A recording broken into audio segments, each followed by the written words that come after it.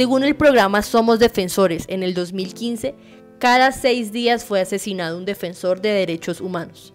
Carlos Alberto Pedraza fue uno de ellos.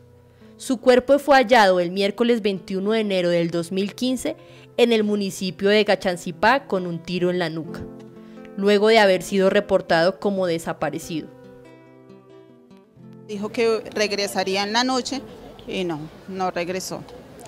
Pues ahí como que pues es la angustia eh, y más sabiendo pues que había sido amenazado. Hasta el otro día hacen tres llamadas al apartamento, supuestamente la SIGIN.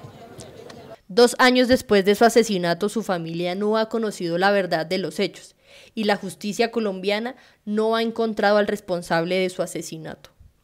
Luego de haber recurrido a, a, Zipaquirá, quien, quien lo tenía ya en derechos humanos, pero ya se trasladó aquí a Bogotá.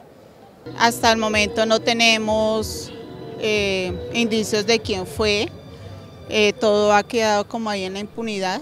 Pero la persecución no cesa.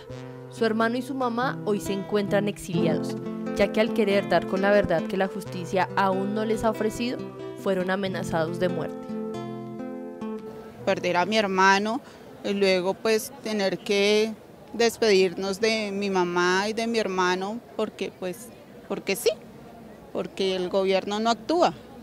Este sistema no no aquí no hay derechos humanos. No hay derechos humanos. Reclamo la verdad, la justicia y la no repetición de los hechos.